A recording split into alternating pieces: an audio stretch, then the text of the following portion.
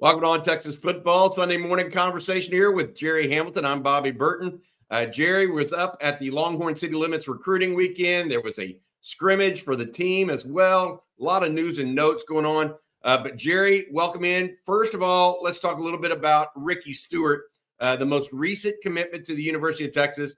Uh, he becomes the fifth commitment of the recruiting 2025 recruiting class, running back out of Tyler Chapel Hill. Uh, congratulations to Rickey and his family. He was excited uh, when he made the decision yesterday, Gerry. Yeah, no doubt about it. Uh, this was one we kind of we were watching, we were monitoring it pretty closely here. Um, you know, when I stopped by Chapel Hill earlier this year, it was obvious that Texas was a runaway favorite here. Um, and then it came down to when would he actually commit publicly? Um, and that happened yesterday. Uh, and obviously, that was going to happen when his mom was with him at the University of Texas, which she was yesterday, wearing her decked out in her Texas gear. Uh, and he committed at, at, at the scrimmage. Uh, so they got in, families got in around 8:30 or 9. They went through team meetings and position meetings. Um, and then they eh, kind of they went over to the practice field, and then there was the scrimmage at 11, and he committed to Steve Sarkisian to Shard Choice at that scrimmage. And then on the way back uh, to Moncrief Neuhaus, uh, uh, his mom kind of ran into me and she's like, Rickey's got something to tell you. And that's kind of how it all happened. And uh, the video's out there on ontexasfootball.com, on my Twitter. Uh, but uh, Rickey Stewart, it, it, really was. He was living a dream yesterday. Now he committed to his dream school. His mom probably her dream school as well. Um, so that, they were a happy family and a running back that look at. He, he's a slasher, but he will drop his pads on people. Uh, he's a guy that can carry the load. He's a tough kid physically. Um, and the one thing the high school coaches tell you in East Texas is, and these are guys that have played him more than once. They said faster in a game than he appears on field uh, on film. So faster in the game than he appears on film. That's a really good sign for a running back. That is, that's very very good sign. Hey, uh, before we get into the other recruits, uh, as well as some stuff that went on in the scrimmage, we're going to recap a little bit of that. We want to say thank you to Joe uh, Brown, uh, your veteran mortgage professional. Uh, Joe's been doing this for 30 plus years, guys. He actually wrote my first mortgage ever. It is now paid off. 512 663 4744. That's 512 663 4744. Uh, Austin area, anywhere in the state of Texas, Joe's uh, able to uh, help you out. That's 512 663 4744. We appreciate his sponsorship of On Texas Football. Hey, Gerry, I'm looking at a little bit more of this stuff and what's going on uh, as it relates to yesterday. And I, I, caught up with everything. There was a new scholarship offer first. Let's go over that. Young man out of uh, Nashville, Tennessee. Uh, tell us a little bit about what you know there.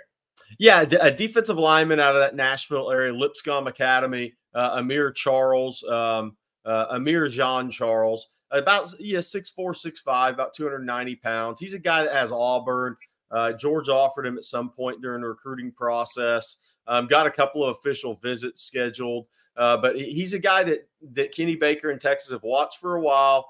Uh, they offered him yesterday, but the key was what he said about that offer was Kenny Baker's going to come watch me in person in May. So this is kind of what we were talking about uh, with Texas. Is look, there's the guys, there's the D lineman, there's the Brandon Brown who's committed, the Zion Williams, um, the Malik Autry, those level guys. Who Malik Autry did not come in this weekend. It's looking like April 13th. And then there's a bunch of guys that Texas is really going to evaluate in May. Kenny Baker's going to evaluate in May, and we'll see where the push comes uh, uh, that set up official visits with some of those guys in June and where Texas really goes at this D line position because we know the war daddy guys. We know the guys that are no brainers for Texas right now. Then there's a, some really good players that are all being evaluated. Yeah, I mean, uh, you mentioned guys that weren't in. Uh, Josiah Sharma out of California, yeah. uh, but DJ Sanders out of Belleville was in. Zion Williams was in. And then you had guys like Mello Brooks, and you had a young man out of uh, Louisiana at defensive line also in there were quite a few defensive line guys in, but that was the only new scholarship offer that went Correct. out across the board, right? Yeah.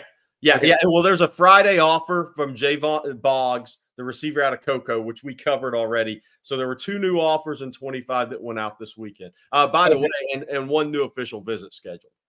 Right. And that official visit is Jaime Ffrench, correct? Um, no, he was already scheduled. Aiden Anding, the corner out of Ruston, Louisiana who Texas offered March 28th. Uh, he came in for a visit, first time ever at Texas. Um, he came in with his mom and his brother. Uh, and this guy's one of the top basketball players in Louisiana as well. He was at Miami last weekend, Arkansas midweek, and Texas yesterday. And Texas wasted no time getting him on campus after offering. Sarkisian talked to him on the phone Monday to ensure they got him on campus yesterday, April 6th. Now he's got a June 21st through 23rd official visit date set up. That's Texas big vi- visit weekend. There's two 14th through 16th, 21st through 23rd. But for Texas to schedule him there, that tells you he has quickly risen to a priority target at corner. That's interesting because I was going to mention him. So he's scheduled a visit now. Uh, you mentioned Boggs uh, and then Ffrench. Those were two receivers that were in. Boggs was in with the seven on seven team. Ffrench, um, Kate, Kelshawn Johnson uh, down in Hitchcock, Dakorien Moore, uh, Kaliq Lockett. They were all wide receivers that were on campus as well. I give us a little wide receiver rundown of, of what all went on yesterday. It sounds like they got together with uh, uh, Texas uh, quarterback commit KJ Lacey and had a little conversation during the sideline kind of stuff. Yeah, that's a heck of a four by 100 meter team, too. but Dakorien Moore stayed. He got in late Friday night. He stayed over Saturday night, spent some time last night with Colin Simmons and some other Texas players. Uh, so, really, I mean, while it's an unofficial visit, it's it's dang near an official visit, right? I mean, but the family look the the mom grew up in Austin with the Lanier High. There's family in Austin, so they can come to Austin as much as they want. They have place to stay. They have family members there. But it was pretty, this is pretty much like an official visit in a way for uh, Dakorien Moore. And and I and he'll be back April 20th for the spring game. He'll be back in June for an official visit. I think the 21st through 23rd. He hasn't released his dates yet. Uh, but look, I think he's going to meet again with Steve Sarkisian this morning before leaving campus mid morning. Uh, so that's a lot of FaceTime with Sark. It's a lot of time with the Texas players, former teammates, Colin Simmons, Alex January. Uh, so things are moving with the LSU commitment. It'll be a battle. Um, but he's again, he's not scheduled to be at the LSU spring game next weekend. He's scheduled to stay in Dallas and play in another o, the OT seven seven on seven event. So uh, LSU probably will get a little nervous if that if that uh, maintains. But he'll take official visits to LSU, Texas, Ohio State, and Oregon. Um, some news there is, by the way, is um, Oregon's trying to hire Ra'Shaad Samples away from Arizona State as their wide receivers coach. So I don't know if that news is going to break today, if he's going to take that job or where that process is, but that's something to follow as well with some other recruitments in the state of Texas. Uh, then Kelshawn Johnson, again, really good visit at Texas. He'll be back June 14th through 16th.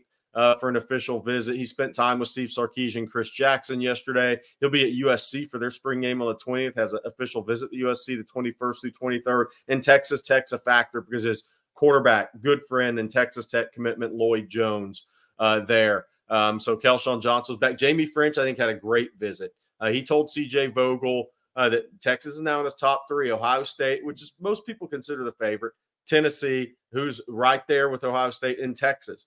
And that's saying something because Miami, Florida State, they're all in the battle for the former Alabama commitment. Two day visit. His family was on campus. He'll be back in June for an official visit. And then Kaliq Lockett. I, the one thing about Kaliq Lockett that's interesting is, uh, uh, you know, this is a full recruitment. And by full recruitment, I mean academics, football, development player, development young man. I mean, spending any time with his parents yesterday, which I did, CJ Vogel did, that's extremely obvious.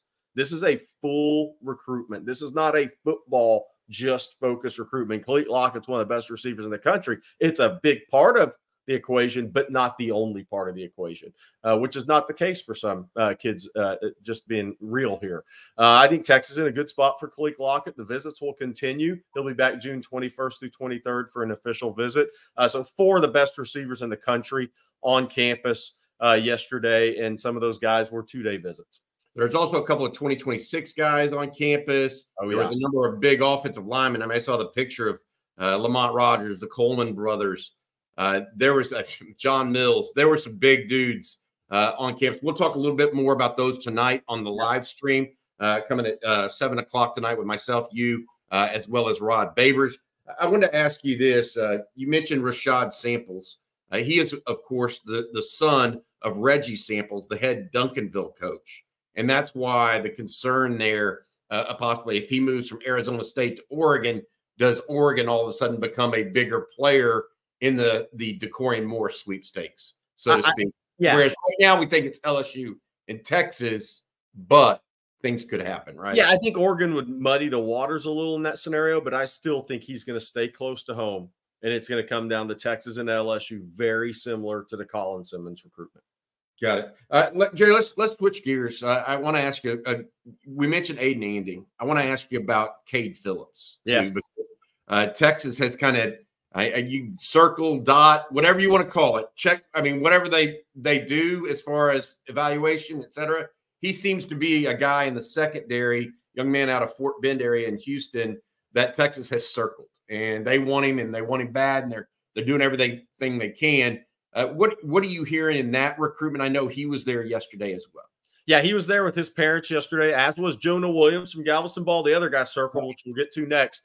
Uh, Cade Phillips, look, I, I think he's one of the highest upside prospects in the state in this class. He's closing on 6'2, 180 pounds, 10 inch hands, 80 inch wingspan, long jump 24 7. Uh, he really wants to hit that 25 foot mark uh, if he can this spring because he's an early graduate next December. So him, Decory Moore. This is their last track season for these guys. Um, so, but I think Texas is is in a good spot, and, and I just put a story out on on Texas Football.com this morning about some guys I thought were trending Texas, and he's one of those guys. Now he'll be at LSU for the spring game this weekend. He was at A and M last week, and his brothers finishing up school this this year. Um, and then he'll make official visits to Baylor into uh, April, uh, but really LSU, A and M, and Texas. And I think Texas is the favorite right now. Um, then Jonah Williams is on campus. They both got a lot of attention from Blake Gideon and Steve Sarkisian. Um, uh, Jonah Williams from Galveston Ball there, the four star slash five star safety. He was there with his mother and father. Obviously, his father played at Galveston Ball, some really good teams in the 80s, played at U of H as a fixture in that Galveston uh, ball and Galveston community. Um, but Jonah Williams on campus, that was big news. He didn't he didn't attend the junior day January 20th. And he is an Oklahoma lean headed into this spring, no doubt about it. And so Blake Gideon spent a lot of time with him. We even saw the golf golf cart take him and his family over to the baseball uh, field because baseball is part of his recruitment. He's one of the top baseball prospects in the state in that 25 class. Um, and that's where Oklahoma's made some hay, and they recruited him at safety for so long as well. But Texas transitioned from linebacker when Jeff Choate left to safety. And it's a full on safety recruitment by Blake Gideon and Steve Sarkisian, who were by the school in January. So both of those top safeties for Texas in the state of Texas were on campus yesterday. Uh, Jonah Williams has not announced its official visit date to Texas, but we do think Texas will get one in June.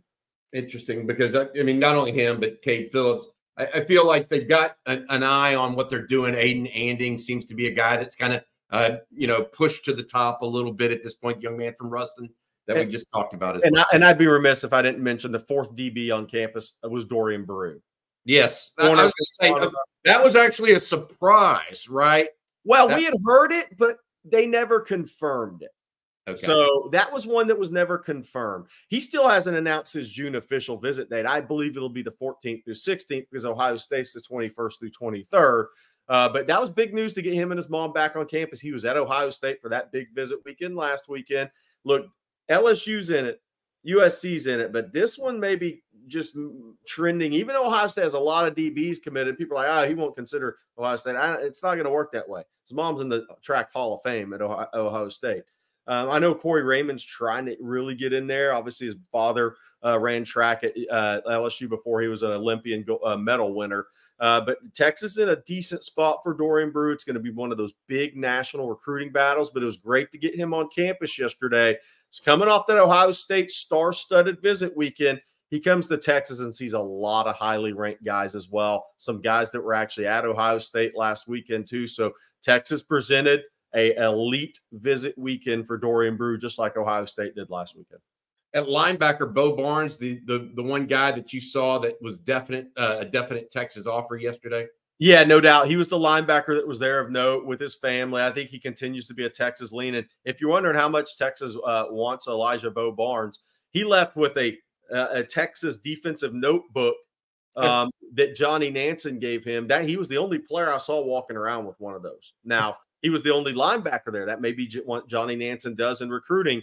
But look, you aren't you aren't having a meeting like that, getting in the scheme and boom, boom, and and, and taking a defensive notebook home unless you're very much a top target at the University of Texas. Yeah. Doesn't work that way. and we need to talk a little bit about the scrimmage yes. Uh, as well on this Sunday morning uh, before we get going. But before we do that, I want to say thank you to one of our sponsors, uh, Autograph. Uh, we're pumped for the big game in Ann Arbor. Autograph is as well. They would like you to have the chance to win $4 tickets to the big house against Michigan in honor of our four national championships here at the University of Texas, hopefully five in 2024. These tickets are retailing for $600 plus. Uh, so if you want to win them, listen up. Our partner Autograph is dropping a pair of tickets on April 8th at 2 o'clock Central in their app. All you need to do is download the app, refer one friend successfully uh, from Wednesday, April 3rd to Thursday, April 18 at 11 o'clock Central to be eligible. For those that are new, Autograph is where real Texas fans get unreal rewards by bringing fan content and communities into one place. Autograph is the first app that recognizes and rewards fans, turning their passion into access and experiences. Scan to download the free Autograph app in the Apple Store and use uh, referral code on Texas. That's referral code on Texas. Join us and see where your fandom takes you. Hopefully, Ann Arbor this fall for $4 a ticket. Uh, thank you for their sponsorship of On Texas Football today. Hey, Gerry, the, the, the next question I had for you is uh, surrounds the scrimmage. I saw the video and listened to a lot of the comments. I made a couple of calls on my own uh, as well about uh, the uh, scrimmage yesterday. Uh, your overall takeaway listening from listening to players yesterday. I want to go that direction. The players that were on campus were recruits. Well, Dakorien Moore mentioned Ryan Wingo. Um, that was that was interesting. A number of guys mentioned Colin Simmons had two sacks in the scrimmage apparently. Um, a number of guys mentioned Jaydon Blue. Uh, one other one other kid mentioned uh, the freshman running backs got really good movement skills. He was talking about Christian Clark. Um, so it's interesting how you talk to different guys, and the offensive linemen obviously they all noticed Kelvin Banks, right? They all noticed Texas being physical in the run game was one thing those guys said off the record a little bit too outside the videos. Uh, so yeah, I thought I thought a number of guys were mentioned. Uh, somebody mentioned Arch Manning having a really nice 30 yard completion. Uh, Mari Niblett, I believe that was. So uh, the kids, they're paying attention, first of all. The parents are paying attention as well. Um, there were some comments there. Uh, Tre Wisner got some love uh, from prospects and parents as well for having a really good scrimmage. And uh, also talking to a couple of high school coaches that were there. Tre Wisner Colin Simmons were singled out by a couple of those guys right out of the gate. So it, it I thought Texas showed well. Um, you know, a defense got the uh, first half of the day. Offense came back in the second half of the scrimmage, from what I was told by multiple people. Yeah, I, have got a few notes. Uh, uh, one note of injury note that that's important is DJ Campbell did not finish correct practice. Um, he had some ice on his shoulder, apparently, according to one person uh, that was there. Uh, then I had some other guys uh, text me about what they saw, some you know parents, uh, etc. You know, high school coaches. Uh, Quinn crushed it. Apparently, uh, was not missing. The running backs overall were electric, uh, and that he goes that was all of them.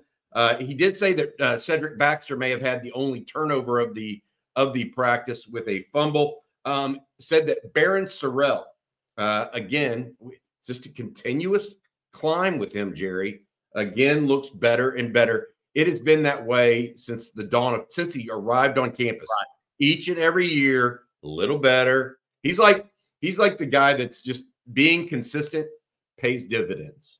I mean, he shows that true development. Uh, good for him. Uh, also, uh, uh you mentioned that 30 yard touchdown from uh, uh, Arch Manning to Niblett.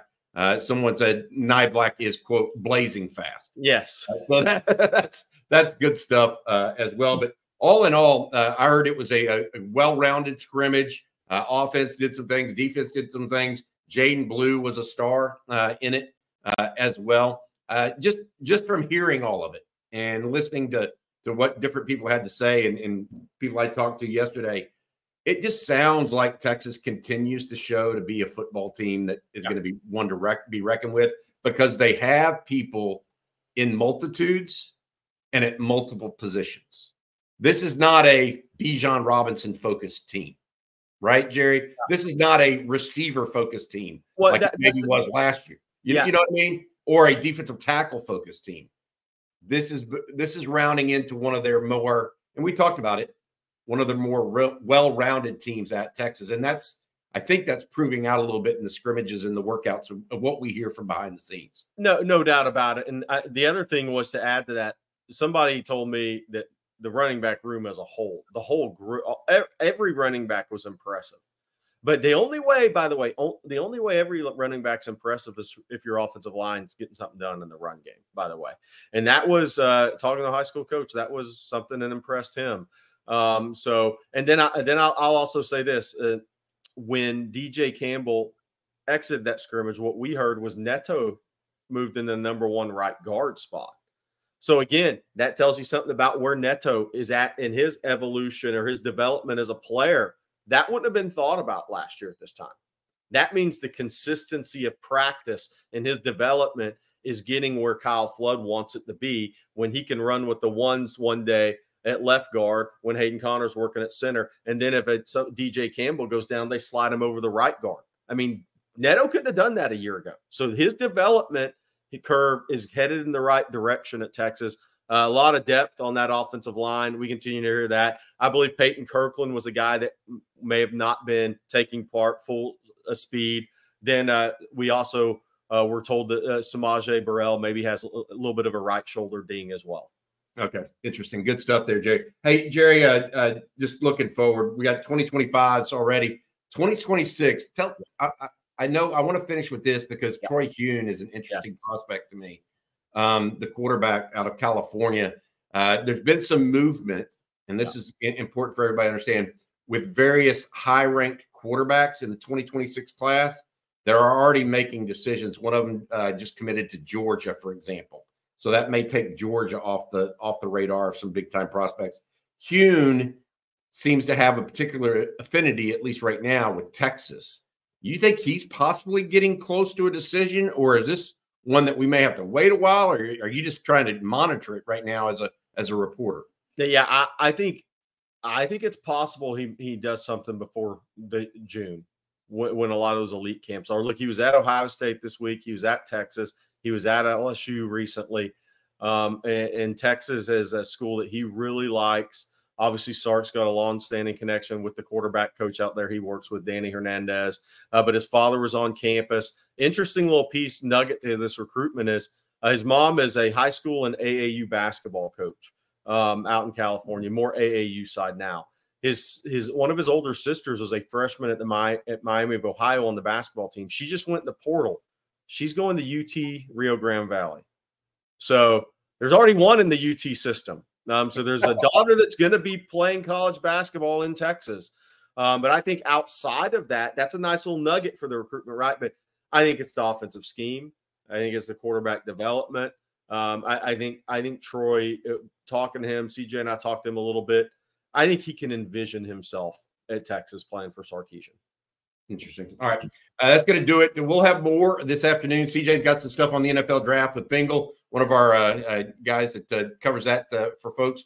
Uh, then also, we have a seven o'clock live stream tonight, myself, Rod, and we're going to have a special guest as well that we're excited about, a young man that's committed to the University of Texas. All right. for Gerry Hamilton, I'm Bobby Burton. This has been on Texas football, a little Sunday morning conversation. we'll talk to you again soon. Welcome.